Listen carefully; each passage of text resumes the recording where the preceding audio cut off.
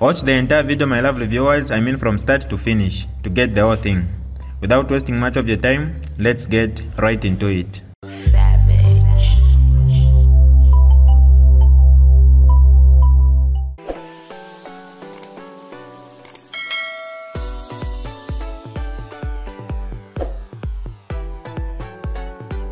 Hi lovely viewers, it's me again your one and only Mtati Mpundu. Welcome to my YouTube channel. If this is your first time on my channel, kindly subscribe to my YouTube channel by hitting the red subscribe button down below and turn the bell icon to join the notification squad. Don't forget to like, share and leave a comment. Tell me what you think about this video in the comment section below. I'll be super glad to hear from you lovely viewers. So, what do you think? What is your take on this IP um, as the PF saga continues to go about in the news? Yeah, uh, good morning once again, uh, and the viewers. Of course, we've been awakened to another drama, political drama in the PF. We did mention, um, I think, um, some days ago that uh, this story will continue unveiling itself and um, developing into different shapes altogether. So it's not a game, it's not a battle that will end anytime from now, but uh, we will continue watching. And at the same time, again, it is quite, uh, you know, uh, interesting that uh, this matter has gone back to Parliament, where at some point it was uh, said that uh, this matter was uh, prematurely sitting before the National Assembly, and it has been taken back. So we have to watch the space and see how best it's going to be adjudicated upon in the National Assembly. Um, but uh, to see the unfolding events in the PF, which is the largest political party uh, in Zambia, uh, opposition political party in Zambia so far, is quite um, disturbing in a democratic country. And um, of course, at what democracy sometimes entail that you are going to have conflicts here and there until you recover. But uh, certain things must happen based on what the law stipulates based on uh, law and order.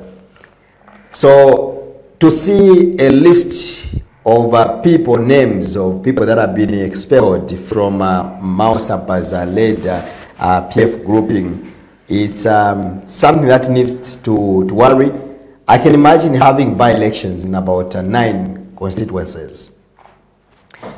You know, with uh, the financial you know, challenges were going, uh, going on as a country today. And I remember very well there was a time when we were told by the head of state that uh, he is an enemy of by-elections. He said this in the opposition. He mentioned this when he formed government. And he mentioned this in parliament not once, not twice, but a couple of times, where he said by-elections must be avoided, most say these are unnecessary by-elections, unless those that comes as a result of uh, death and stuff like that. So uh, to see us again talking about uh, the looming uh, by-election that we may have if the system doesn't handle this uh, uh, issue properly, if the courts doesn't really rise to the occasion and you know rescue the PF as a political party, then there will be a problem. Let me make a mention here that what is also disturbing in this uh, regards, I mentioned last time that uh, the PF is no longer a, a party for the PF alone. It is a party for all of us as Zambians, based on the fact that it holds the majority members of uh, uh, uh parliament from the opposition side in Zambia. So it belongs to each and every Zambian. Should you kill the PF, should the PF go into oblivion today, you have no democracy to talk about because there will be no members of parliament that will be offering checks and balances. We would have created a monster in the UPND which will remain alone in the National Assembly. We've got one uh, Hamudu MP who can't contain the pressure alone. We've got uh, about nine members uh, who are independent members of parliament in the National Assembly who cannot contain the pressure alone. We need these divergent and critical voices. No matter how irritating they may be to you as the speaker, no matter how irritating they may be to you as a member of the ruling party, but these oppositions are needed. So let's see how this matter is going to, you know, unfold. But uh, to see that on the other side, the court is saying this matter is, uh, I mean, the other stakeholders are saying this matters in court. But on the other hand, again, we are allowing uh, Honorable Miles Sampa to go on and on and make these, uh, you know, appointments. Wow, it's quite interesting, like we said last time, that this is a litmus test for the, uh, the speaker and also the UPND government. More especially that we are at a time when the critical stakeholders, objective stakeholders, have pointed out that uh, the possibilities are very high that the UPND is fully involved, of which even I have not missed my words, and I don't intend to miss my words, that there is a, a likelihood that the UPND is fully involved. And this is the defense to my, uh, just, uh, to my analysis. I've given an example to say how did uh, Miles manage to have those police officers, huge police officers, where I went myself and covered that event. Where, how did he manage to, you know, bring all those armored vehicles of police officers at a private, uh, you know, uh, event? Why is that when, when a Miles Sampa is arriving, coming from out of the country, is received by a huge number of police officers? Who is paying those police officers? Those are clear signs. Now, let me submit, Comrade um, Chiti, that it would be interesting to see, because you know, this law, I mean, the constitution is being tested on both ends, outside the courts and also uh, in parliament. Last time when Honorable um, Chitotela raised a point of order, reporting to the Speaker or advising the Speaker to eject Honorable Miles Sampa from the National Assembly, based on the fact that Honorable Miles Sampa had been expelled from the PF for holding an illegal convention. The Speaker was quick to run away from that matter saying or stating that I can't determine uh, over this matter, reason being that this is a matter which has been taken to court. So if I do so, to remove or to eject Miles Sampa as Member Parliament for Matero, I would be interfering in the rule of law or in the constitution. So therefore, I will leave it as such. And he, meaning that he will continue enjoying his privileges. Now, again, this very matter which is actively before the, the, the courts. We've seen Honorable Sampa and his grouping going to expel the other members of parliament. And the letter has been taken again back to the National Assembly. Is the speaker going to U-turn from her earlier position, strong position, and, call, and nullify those seats or call for a by-election? or she will remain as a law-abiding citizen as she claimed that time to say this matter is beyond me, I can't take it because this matter is still active before the course of law. Is she going to entertain to call for a by-election on the nine members of parliament uh, based on the decision made by a member of parliament from Matero who held the by-election, at, um, who held the general election, uh, I mean a, a, convention rather, at the time when he was an expelled member of the party. How is this going to, you know, twist itself? And uh, she said that uh, according to her, when she was running out from that case of Honorable Miles Sampa, she cited the case of uh, Honorable Shimba Kambwili of 2019, in which Honorable Kambwili was illegally expelled by Honorable Matibini under case CC 009. What will happen now? So it's a, an interesting case and uh, to watch, but the signs are very clear. For those that are objective, to see that there is an invisible hand which is pushing horrible mouse sample. And even Chita, I can challenge you as a journalist. I can challenge my comrade here that if you want, go on the ground and see if Honorable Mama Sampa has the legitimacy from the party cadres as a president. Or he is a president in, in court, not outside. But look, from what I've discovered so far, I could be wrong, I could be right.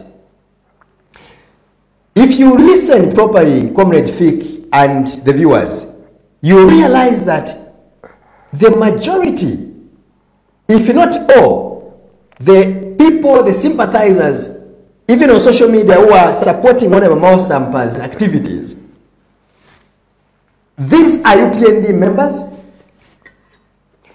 if not sympathizers. So I get to shudder, and they will defend with passion. So no, no, Sampa is okay. Go on, Mr. President. And if you check their credentials here and there, you find that this person is a UPND sympathizer, is a UPND member.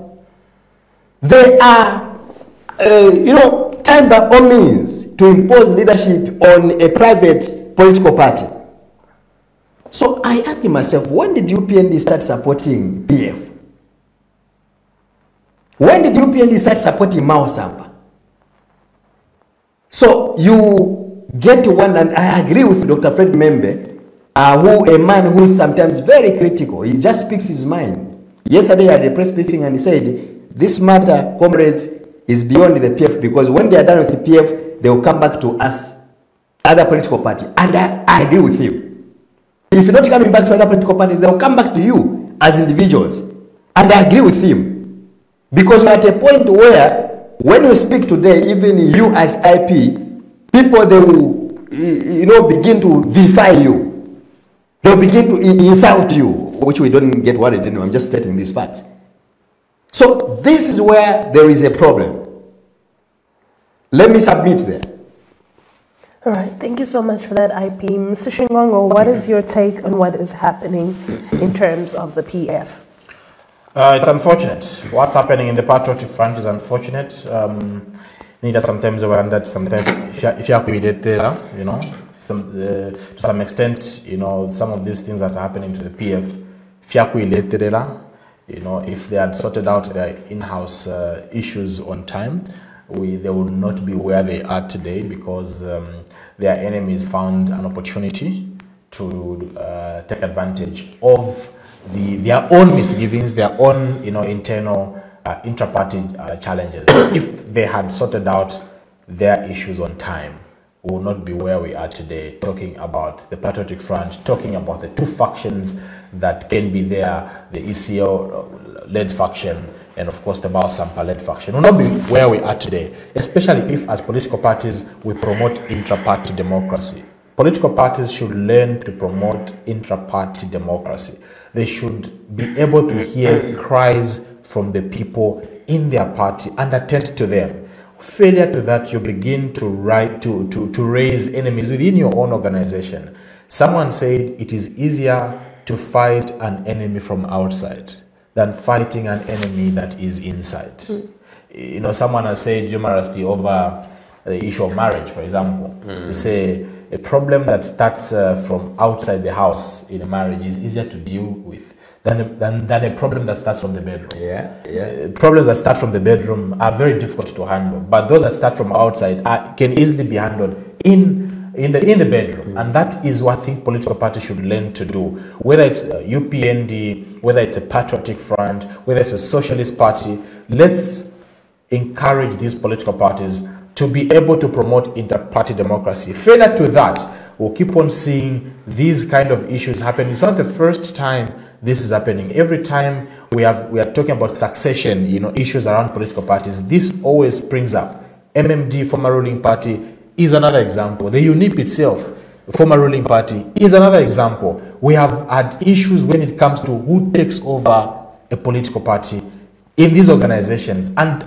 the challenge I have is that they never learn from history. They always keep repeating the mistakes, you know. Meanwhile, they have a, uh, a privilege to learn what has happened with other political parties, starting from the first ruling party, UNIP. What happened when, when, uh, when KK left power? Look at the way the son took over the party, and uh, even after, you know, uh, the, the, the, bishop took over, there were, there were those issues Bishop Mwamba, when, he took over the running of the party, there were those issues, others, you know, uh, revolting, and others even resigning based on uh, Bishop Mwamba's uh, taking over of, of the party. If it's MMD, I think there are too many lessons that any political party in this country should learn from. Starting from the president then, former uh, former Republican President Rupia Banda, who wanted to, to return, you know, Kuwere Rapu. I don't know why this issue of Kuwere Rapu always comes back to these uh, uh, politicians. Nevers Mumba, Felix Mutati, and the factions that erupted for over five years, almost five years. That is something that I think politicians should learn from. And the PF is not an exception. And I can prophesy, uh, Chiti, the same things will happen in the, in the UPND because we've also seen that they don't promote interparty democracy. When last they hold the uh, democratic co- convention to elect a new leader? Even themselves, they, they know they can't answer that question. It will just tell you that these political parties uh, do not learn and don't promote intra-party democracy. And because of this, it's the genesis of the problem. Because of this, they now start taking themselves to court. Meanwhile, they can avoid all these issues.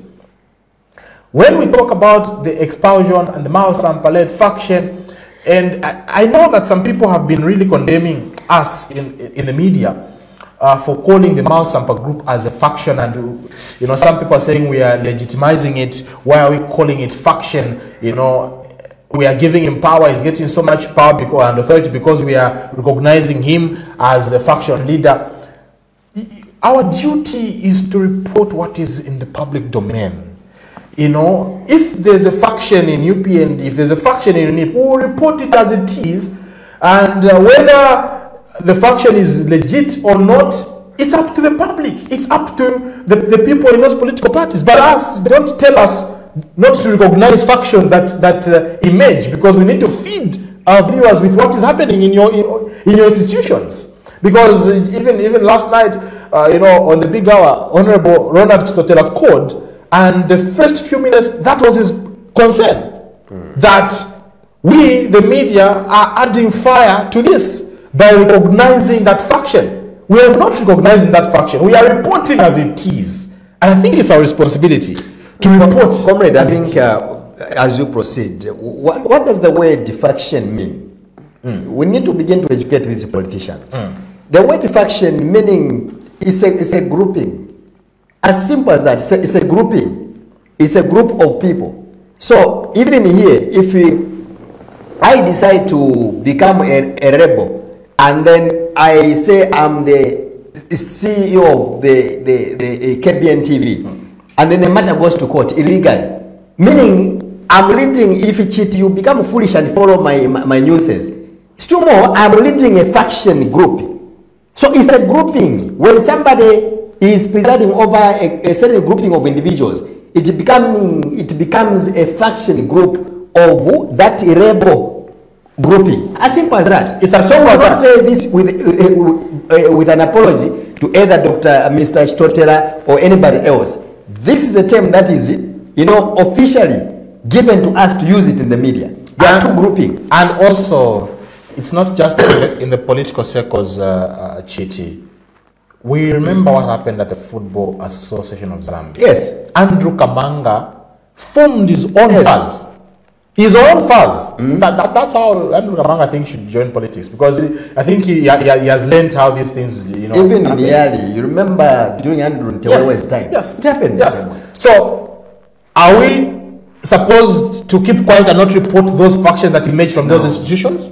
No. So please don't. They, they will not give us the script on how to run our you know, program. Yeah. So, the faction of Miles Sampa, no one can deny that it is existing. It exists. And what is happening with expulsion, uh, Chiti, my, my little thought, okay, tell you what I think is going to happen. And uh, I would want maybe after a, two, a week or two to be proven right or wrong. This is what is going to happen. Because, um, and I'll, I'll, I'll put context to this we have Miles Sampa initially being expelled from the Patriotic Front. Okay? He was suspended before holding that uh, convention, we, the, the, the, the meeting he called convention. He was a suspended member. Then, after holding that meeting, he got expelled. After.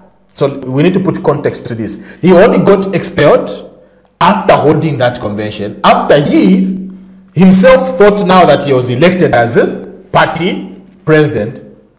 As a step, that same evening, I had Emmanuel Mwamba that same evening on the big hour, and that was the first news that was reported that we've now expelled the suspended member of parliament for Matero.